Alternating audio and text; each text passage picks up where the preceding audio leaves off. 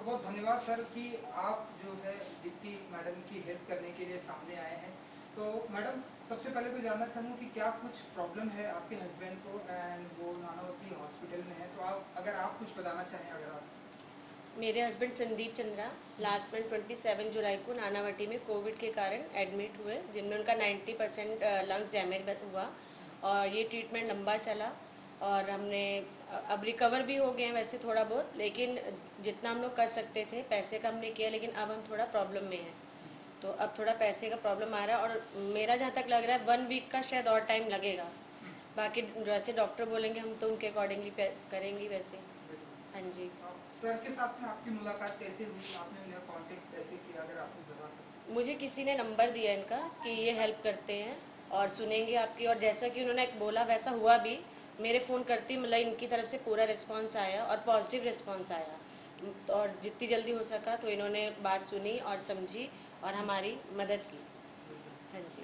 Sir again sir बहुत बहुत धन्यवाद कि आपने मैडम की हेल्प की। कैसे सर आपकी मुलाकात हुई एंड आप मैं तो अभी इनसे पाँच मिनट पहले ही मिला इनसे फ़ोन पे ही बात हो रही थी। इन्होंने मुझे अचानक चार पाँच दिनों पहले एक फ़ोन किया। अक्सर मैं फ़ोन उठाता भी नहीं हूँ अगर अननोन नंबर हो।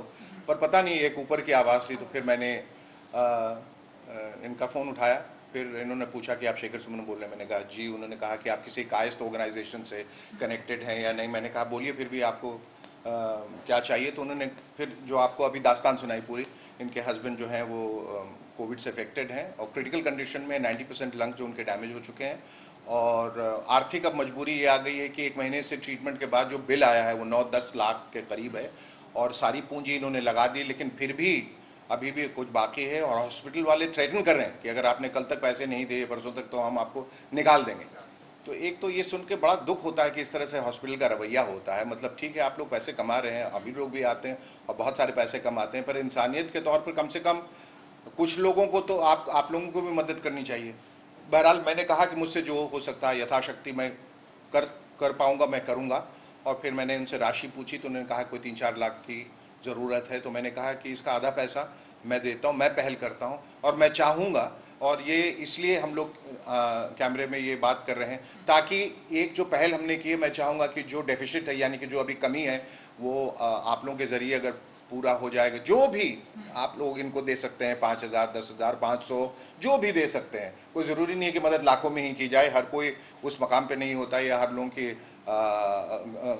का फिनेंशियल कंडीशन उतना अच्छा नहीं होता, मदद की भावना होनी चाहिए। तो बस इस लिहाज से मैंने उनको यहाँ पर बुलाया और ये चेक जो मैं उनके हवाले कर रहा हूँ वन लाख फिफ्टी थाउज़ेंड का चेक है। ये एक छोटी सी मदद है, बहुत मैं मैं चाह रहा था कि पूरी राशि दे पाऊँ, लेकिन चूँकि बहुत लोगों की मदद करनी पड़ती है तो मुझे ऐसा लगा कि थोड़ा थोड़ा अगर हम सबको देकर आगे बढ़ें तो बेहतर होगा। और इसको देखकर अगर आप लोग कहीं प्रेरित होते हैं और आप, आपको ये लगता है कि ये एक बड़ा ही इंसानी जज्बा है और ये करने से आपको अगर परोपकार करने से खुशी मिलेगी किसी की ज़िंदगी बचेगी और किसी का भला होगा तो ज़रूर करें। ये मेरे आप लोगों से हाथ जोड़कर विनती है। तो मैं ईश्वर से प्रार्थना करूँगा कि दीप्ति जी के जो हस्बैंड हैं, वो बहुत जल्दी से जल्दी अच्छे हो जाएँ, स्वस्थ हो जाएँ, बाहर आ जाएँ और जो भी इनकी आर्थिक मजबूरी है, वो सब ख़त्म हो जाए। इनके बच्चे अभी स्कूल नहीं जा पा रहे हैं क्योंकि सारी पूंजी इन्होंने जो पैसे थे इनके पास उन्हें हॉस्पिटल को लगा दिए हैं और मैं अपनी तरफ़ से कोशिश करूँगा कि इनके हस्बैंड राइटर हैं और कि उनको काम मिले। इन मतलब आर्थिक रूप, आर्थिक मजबूरी की वजह से अगर आपको ये पता चले कि बच्चा स्कूल नहीं जा पा रहा या किसी की जान जा रही है तो इससे दुखद बात और क्या हो सकती है? अगर हम सब मिलके उनकी मदद कर सकते हैं तो हमें ज़रूर करना चाहिए। और आप लोगों से यही अपील है कि दीप्ति जी की मदद करें। ये इनका अकाउंट नंबर जो है, वगैरह वो सब दीप्ति जी आपको बता देंगे। आप लोग डायरेक्टली जो है वो नानावती में नानावती हॉस्पिटल के नाम पे पैसे जमा कर सकते हैं या दीप्ति जी का अपना पर्सनल अकाउंट है, उसमें डाल सकते हैं। आपकी मैं मैं दोनों हम दोनों अ, बहुत खुशकिस्मत समझेंगे अगर आपकी मदद भी हमको मिल जाए। और मैं ख़ास तौर पे अपने आप को बहुत खुशकिस्मत समझूँगा कि मेरी वजह से अगर किसी को भी थोड़ा सा अग- अ, अ, थोड़ी सी मदद मिलती है थोड़ा सा फ़ायदा होता है या किसी की जान बचती है तो बहुत बड़ी बात है। मैं परवरदिगार का भी बहुत शुक्रिया अदा करना चाहता हूँ।